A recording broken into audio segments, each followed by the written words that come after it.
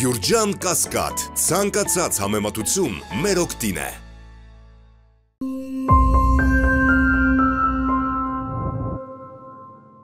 Զեկուցող աշխատանքի եւ սոցիալական հարցերի նախարար Նարեկ Մկրտչյան։ Համեցեք, պարոն Մկրտչյան։ Մեծարգո պարոն վարչապետ, հարգելի գործընկերներ, ձեր քննարկման եմ ներկայացնում անհուսալի վարկ ունեցող անձանց տնտեսական ակտիվության խթանման միջոցառումը եւ կարգը հաստատելու մասին կառավարության որոշման նախագիծը։ Ըստ էության այս նախագծի մասին մենք առիթ ենք ունեցել նաեւ նախորդիվ կառավարության նիստերից մեկի ժամանակ խոսելու նաեւ զբաղվածության ռազմավարության քննարկումների ժամանակ, որտեղ խնդիրի առաջ առաջացել անդրադառնալ մի քանի 100.000 մարդկանց, ովքեր որ ունեն անհուսալի վարկեր։ Այսպեսով կենտրոնական բանկի կողմից տրամադրված տեղեկատվության համաձայն 2024 թվականի հոկտեմբերի 1-ի դրությամբ անհուսալի վարկ ունեցող ֆիզիկական անձ վարկավորների թիվը կազմում է շուրջ 341000 իսկ վերջիներիս ընդհանուր վարկային բեռը շուրջ 642 միլիարդ դրամ, 2023 թվականին ապրիլ ամսի դրությամբ այս նույն բեռը կազմել է 525 միլիարդ դրամ եւ ըստ էության, երբ որ մենք այս 1 տարվա ընթացքում հետեւել ենք, տեսել ենք, որ ավել քան 100 միլիարդ ավելացել է եւ նաեւ սա էլ մեզ ստիպել մտածելու այս նախագծի մասին, կյանքի դժվարին իրավիճակում նաեւ հայտնված այս մարդկանց համար որևիցե ծրագիր իրականացնել։ Ընդ որում նրանց միջև 20%-ն է, որ ունի ֆորմալ զբաղվածություն, մնացածը կամ չունեն աշխատանք կամ գտնվում են ոչ ֆորմալ զբաղվածության մեջ։ Այսինքն այսինքն անհուսալի դասով դասակարգված վարկեր ունեցողների մեծ մասը գտնվում են ոչ ֆորմալ զբաղվածության մեջ, իսկ նրանց մի մասն էլ որպես անապահով ընտանիք հաշվառված է անապահովության գնահատման համակարգում եւ պետությունից ստանում է նպաստ։ Հաշվի առնելով արկա իրավիճակը դրա հետևանքով առաջացող սոցիալական խնդիրներն ու անհուսալի վարկ ունեցող վարկառուներին ոչ ֆորմալ կամ ստվերային զբաղվածությունից դուրս բերելու եւ նրանց տնտեսական ակտիվությունը վերականգնելու անհրաժեշտությունը նախագծով առաջարկում է 2025 թվականի փետրվարի 1-ից գործարկել միջոցառումը, որի շրջանակում կարող են շահառու դառնալ վարկային պարտավորություն ունեցող այն անձին, ում ունեցած բոլոր վարկերի մայր գումարների հանրագումարը փոքր է 1 միլիոն դրամից եւ այդ վարկերը դասակարգված են անհուսալի դասով առնվազն 3 տարի։ Շահրույն նախատեսում եք տրամադրել ֆինանսական աջակցություն, եթե վերջինս ունենա ֆորմալ, այսինքն գրանցված զբաղվածություն, աջակցությունը կկազմի աշխատավարձից հաշվարկված եկամտային հարկի գումարի չափ եւ այն կուղվի շահառուի անհուսալի վարկային պարտավորության մարմանը։ Ֆինանսական աջակցությունը նախատեսում ենք տրամադրել առավելագույնը 24 ամիս ժամկետով սկսած շահառու դառնալու հաջորդ ամսվա 1-ից։ Շահառու ճանաչվելու դեպքում աշխատավարձից բռնականցող գումարի չափը նախատեսում ենք սահմանել 20%, ասեմ որ այժմ այդ բռնականցող գումարի չափը մինչև 50% է, այսինքն այստեղ էլ ենք նվազում իրականացնում, իսկ պոտենցիալ շահառուների խումբը 218000 անձ է, որում նրանցից 65%-ը 26-ից 50 տարեկանի միջակայքում, այսինքն գտնվում են աշխատունակության ամենաակտիվ շրջանում։ Ընդ որում ասեմ, որ կենտրոնական բանկի եւ մեր մյուս գործընկեր բանկերի հետ քննարկումների արդյունքում եկել ենք պայմանավորվածության, որ բանկերն էլ իրենց հերթին այդ ուրեմն վարկային գծով առաջացած տուժերի եւ տուգանքների համար միջև 80%-ի չափով ուրեմն զեղչ կամ ներում, ոչ թե ներում, այլ շատ զիջում ուրեմն կսահմանի, սա արդեն իրականացման փուլում կքննարկենք։ Նաև նշեմ, որ այս խմբի անձանց ճժող մեծամասնությունը դուրս է մնացել տնտեսական ակտիվությունից, այդ թվում չի կարողանում օգտվել ժամանակակից ֆինանսական գործիքներից, կատարել անկախիկ գործարքներ, վարկ վերցնել, խնայողություններ կուտակել եւ այլն։ Իր աշխատանքից չի վճարում սոցիալական վճարներ եւ հարկեր, այդպեսով նաեւ զրկվում է կենսաթոշակային առավել բարենպաստ երաշխիքներից, այսինքն չի կուտակայինի համակարգի մաս չի կազում։ Իսկ ավելի բարձր խմբերի դեպքում նաեւ տեղի չունենում ստաժի կուտակում։ Նախագծի ընդունմամբ ակնկալում են, որ միջոցառման շրջանակում շահառու դառնալու համար դիմելու ժամանակահատվածում մինչև 2026 թվականի հունվարի 31-ը թիրախային խմբի շուրջ 60%-ը կամ 131 հազար անց կդառնա ծրագրի շահառու եւ կսկսի մարել վարկային պարտավորությունները։ Այս նախագծի վերաբերյալ այսքանը ես նաև ցանկանում եմ ասել, որ մենք նախագծի մշակմանը զուգահեռ սկսել ենք նաև թվային հարթակի ստեղծումը, որպիսի այդ ամբողջը թվային տիրույթում տեղի ունենա, դրա համար ենք փետրվարի 1-ից սահմանել եւ մի կարևոր ուղերձ եմ ուզում այստեղ հղել, որ սա վարկերի ներում չի, այլ մենք մեր քաղաքացիներին ասում ենք, որ իրենց աշխատանքի միջոցով եւ իրենք իրենց աշխատավարձի եկամտահարկով եւ նաև որոշակի ընթառաջումներով պետք է կարողանան մարել եւ կարևոր նախապայման է ֆորմալ զբաղվածությունը, այսինքն առանց աշխատանքի իրենք չեն կարող դառնալ այս համակարգի շահառու։ Շնորհակալություն։ Շնորհակալ եմ պարոն Մկրտչյան։ Ըստ էության մենք քայլ առաջին ֆիքսում ենք, որ Հայաստանում կա 218000 մարդ, ովքեր ունեն 1 միլիոն դրամ եւ այսինքն 1 միլիոնից դրամ պակաս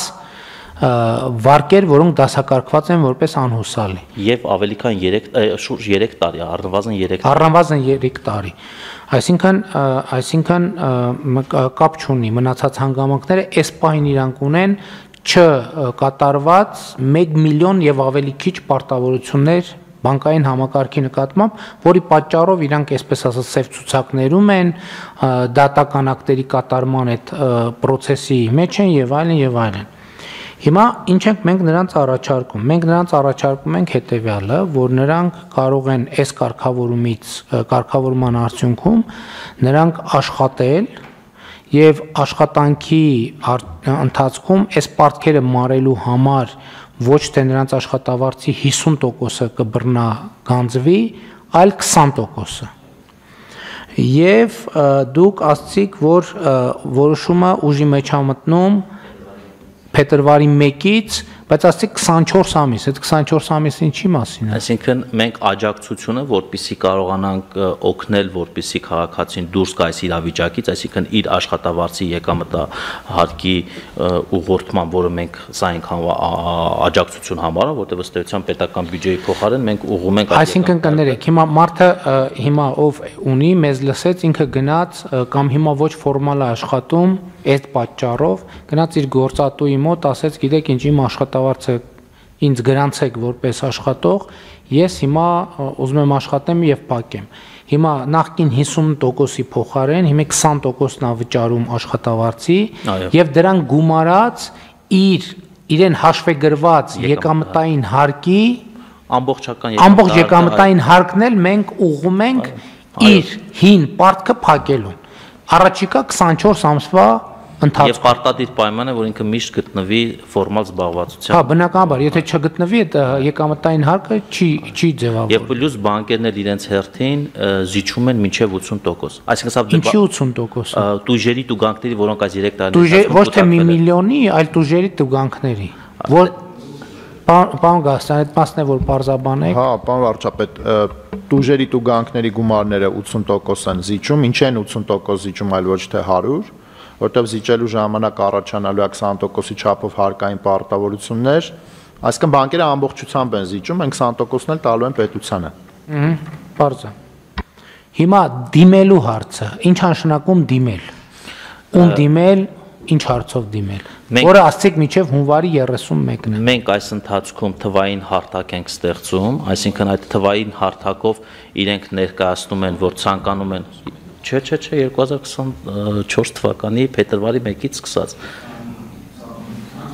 Ա 25 ներողություն 25 թվականի փետրվարի 1-ից այսինքն թվային հարթակով մեր քաղաքացիները որոնք որ ունեն անհուսալի վարկ դիմում են աշխատանքի եւ սոցիալական հարցերի նախարարությանը որ ցանկանում են մասնակցել եւ դառնալ այս ծրագրի շահառու Այդ թվային հարթակը հիմա կա? Թվային հարթակը մենք նախագծի մշակմանը զուգահեռ ստեղծում ենք դրա համար փետրվարի 1-ին պատրաստ այո միանշան։ Բայց մի րոպե, եթե միջև հունվարի 31-ն է մարդը դիմելու, փետրվարի 1-ին պատրաստ եղավ։ 1-ից սկսած պետքա դիմի։ Հա, 1-ից սկսած կարողա դիմել ինչքան միջև երբ։ Անսահմանափակ կարողա դիմել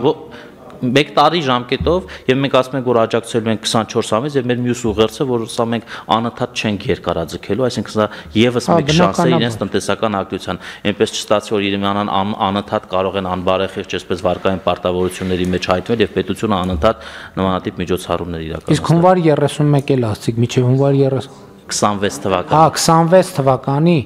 փետրվարի 1-ից սկսած 25 թվականի մինչև 26 թվականի հունվարի 31-ը կարող են դիմել։ Եվ ես ասացի, որ մինչև հունվարի 21-ը թիրախային խմբի շուրջ 60%-ը կդառնա շուրջ 130 մեր ուսումնասիրությունը 131000 մարդ կդառնա շահառու։ Սա մինչև 1 միլիոնի մասն էր, բայց թիվը ընդհանուր ավելի մեծ, այսինքն այնտեղ մենք ունենք մարդիկ, որ 340 հազար է ընդհանուր անհուսալի վարկառուների թիվը, ուղղակի մենք անդրադառնում ենք Հիմա թիվը պոտենցիալ 218000 է, թե ավելի մեծ։ 218000, որոնք որ ունեն, այո։ Շատ լավ։ Շատ լավ, հարգելի գործընկերներ, կարծում եմ, որ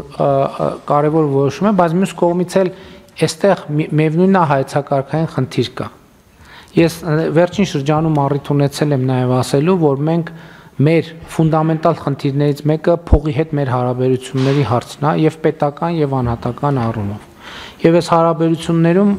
շատ խորը խնդիրներ կան մեր հանրության մեջ։ Օրինակ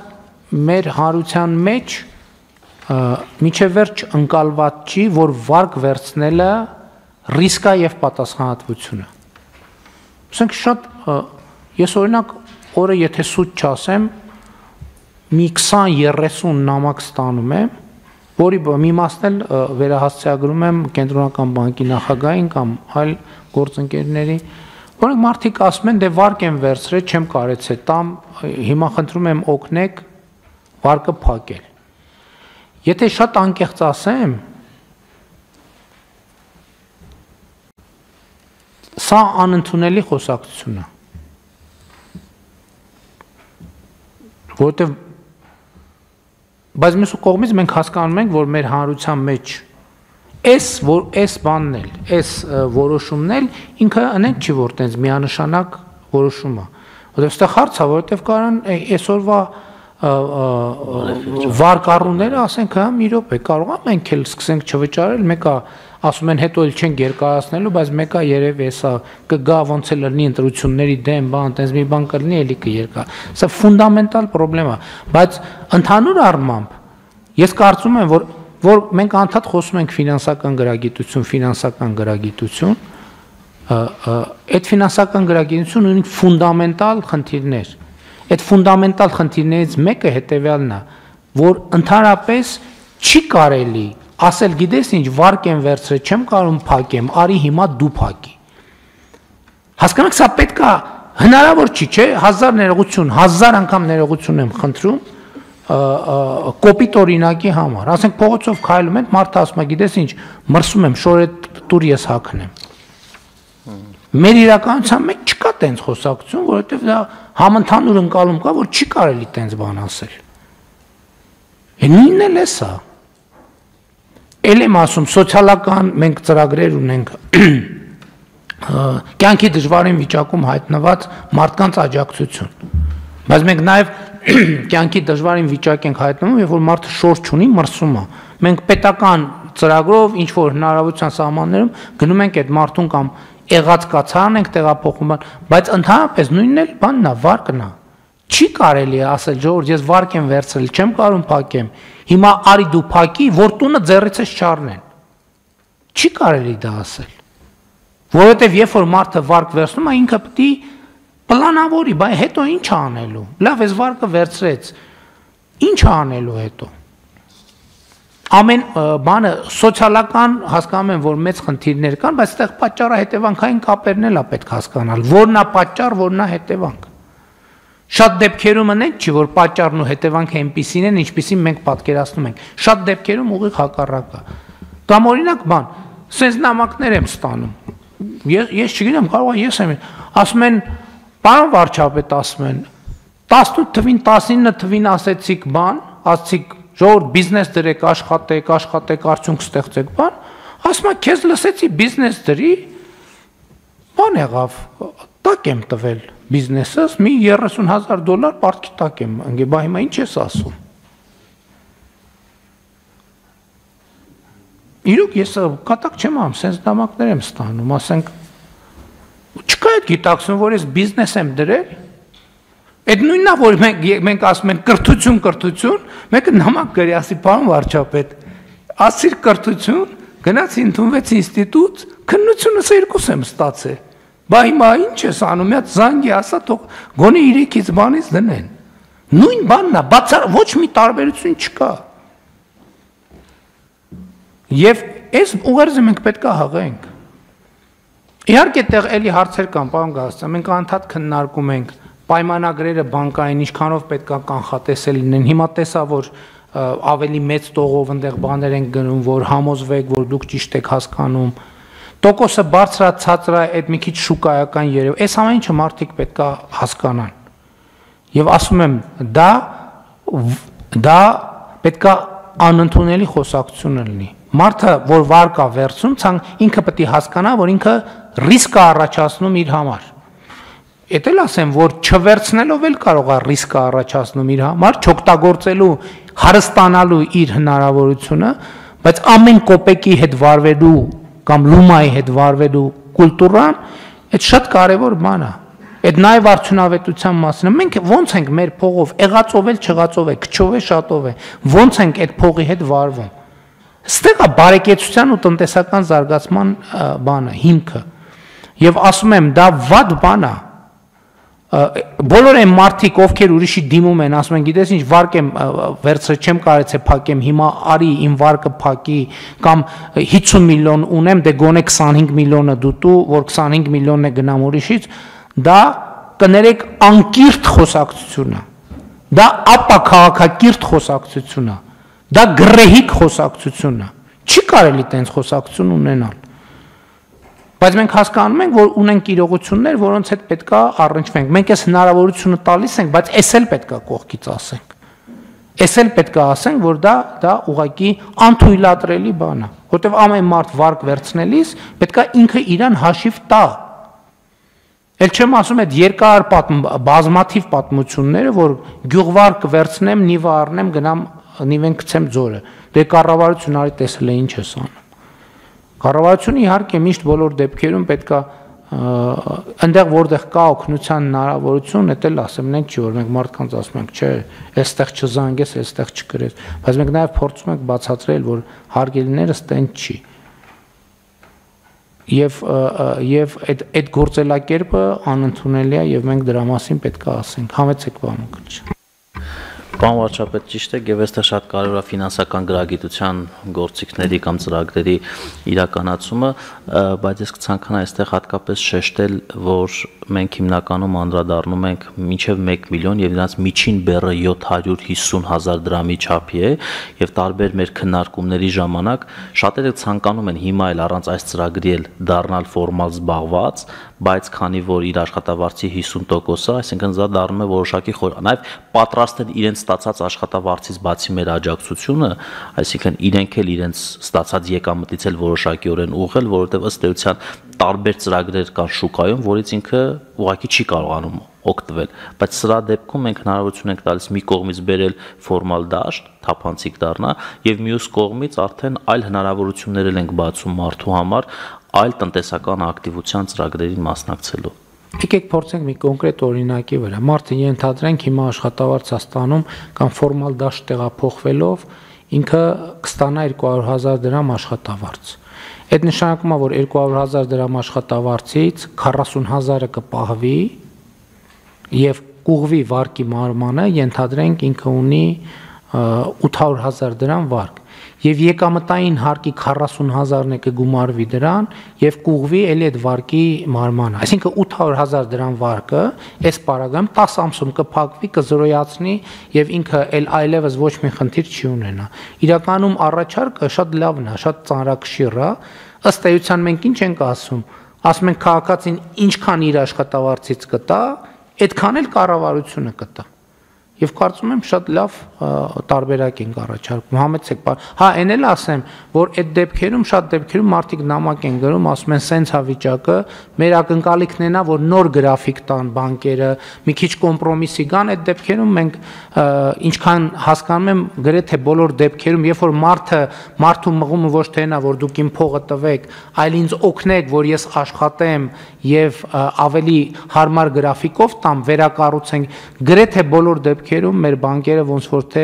բան են անում, ընթառաջում են, համեցեք։ Հենց այդպես է, պարոն վարչապետ, ես ուղղակի երկու դիտարկում անեմ, ձեր ասածը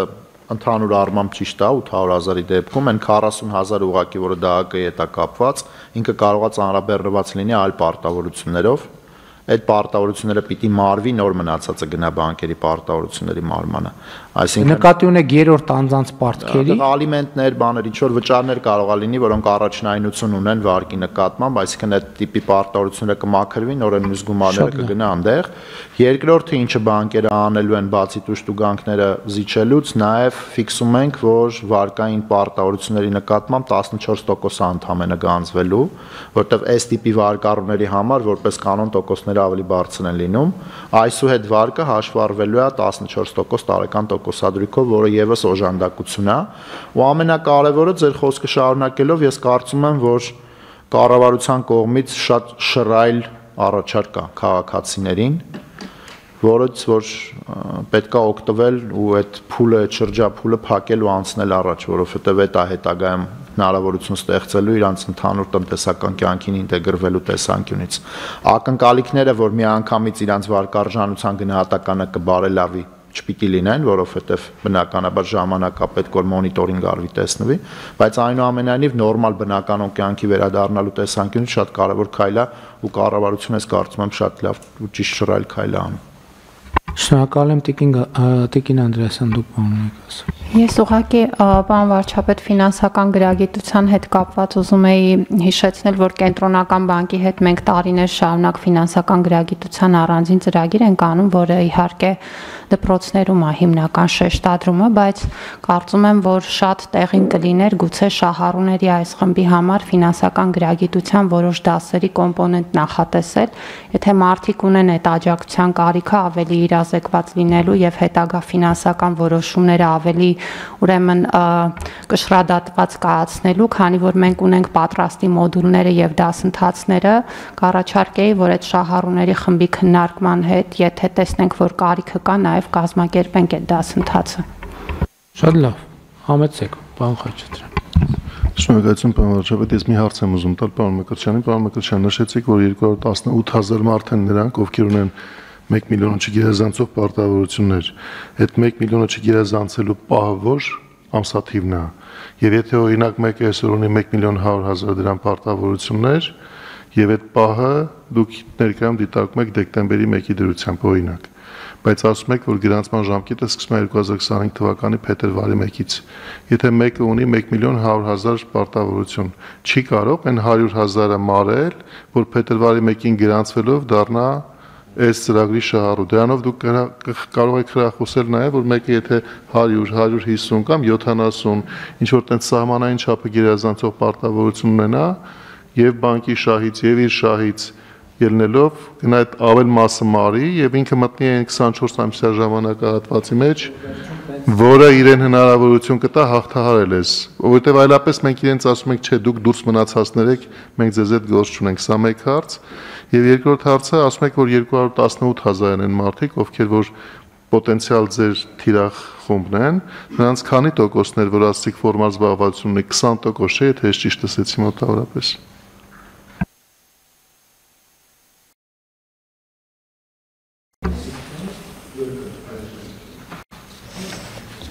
Շնորհակալություն պարոն Խաչատրյան։ Այո, 341000-ի 20%-ն եմ նշել, այսինքն ընդհանուր ես նշեցի, որ 341000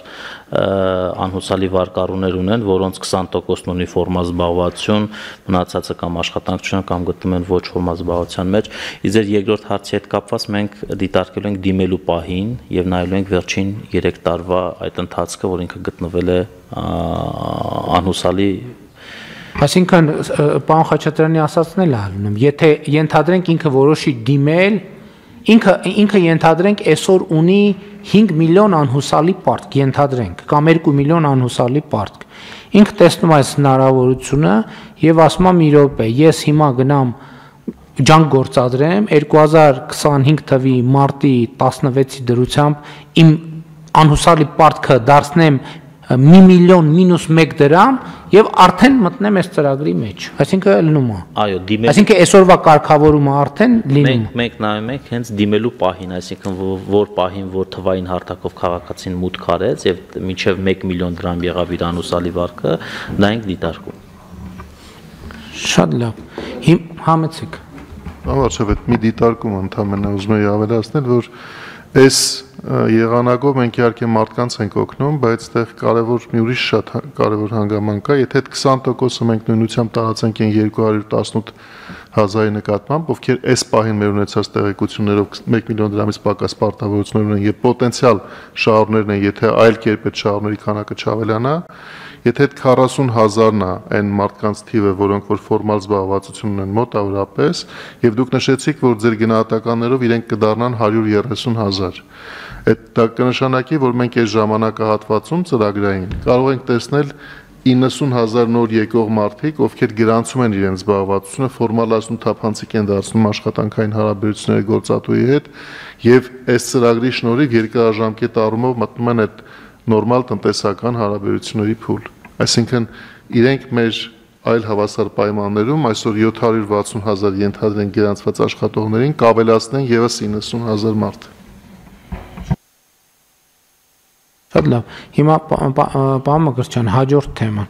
Մենք հիմա եկեք 218000 թիվը վերցնենք։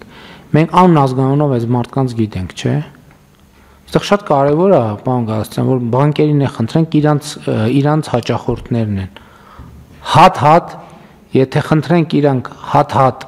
մենք էլ աջակցենք, ինչով աջակցենք։ Բոլորին զանգեն, ասեն ժողովուրդ, սենց, սենց որոշումը ընդունվի։ Այստեղ էլի այդ իրազեկման խնդիրը կա։ Երկու ես հասկանում եմ, որ 218000 մարդու հետ կապի դուրս գալը մեծ ծավալ է, բայց ժամանակ էլ ունենք նախ parza լրատվամիջոցներով եւ այլն մաքսիմալ տարածենք, բայց նաեւ զանգել ասելը կարծում եմ շատ էֆեկտիվ կլինի, որովհետեւ ինչպես նշեցիք, իսկապես չենք ասում, որ այդ մարդկանց գումարը փակում ենք, որովհետեւ չենք էլ կարող, չենք էլ ուզում, դա ճիշտ էլ չի, բայց այդ մարդկանց հնարավորություն ենք տալիս այս բավական շոշափելի աջակցությունից օգնել։ Կենտրոնական բանկի հետ քննարկեք, տեսեք ինչպես կարող ենք ընդ որում գուցե աշխատանքի բաժանում արվի, որ որ